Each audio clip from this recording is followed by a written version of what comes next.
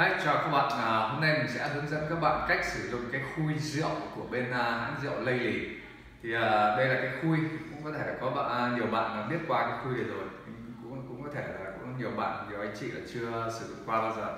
Thì cái khui rượu của hãng Lây Lì nó rất là hay. À, đây là cái khui, nó có logo cái này là made in Italy. À, cái này bán ngoài thị trường nó khoảng 20 đô gì đó. Đấy, thì cái khui này như các bạn thấy nó có hai chân Đấy, một cái chân dài và một cái chân ngắn. Thì cái cách sử dụng nó rất là đơn giản. Và để khui rượu nó cũng rất là dễ. Thì mình sẽ cho cái chân dài vào trước giữa cái uh, nút chai với cái cái cổ chai đây. Đó.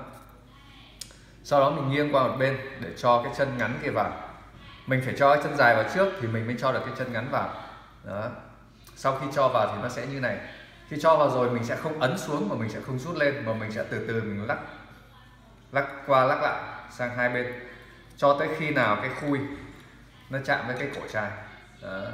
thì khi nó chạm vào cổ chai rồi thì mình có thể túm này hoặc cầm cho hai bắn ngón tay cho vào trong này. Đấy mình thì mình có túm này cho nó dễ. Sau đó mình vừa túm mình vừa xoay vừa xoay vừa rút ra. Đấy. Thì với cái rượu ai xoay này ấy, thì khi mình làm như này thì cái nút nó sẽ không bị hỏng. Đấy. Về cơ bản nó không bị hỏng và cái rượu uh, ice wine này uh, mình uống một lần không hết thì mình hoàn toàn có thể đóng lại cái nút chai này được. Đấy mình đóng nó lại mình cho vào. Đấy mình để tủ lạnh khoảng ờ, uh, 4 đến 6 tuần không không vấn đề gì. Đấy với cái rượu khác mà mình để thế thì nó sẽ bị bay hơi. Đấy. thì cái cái khui này nó xử lý được tất cả những cái lỗi của cái khui xoáy.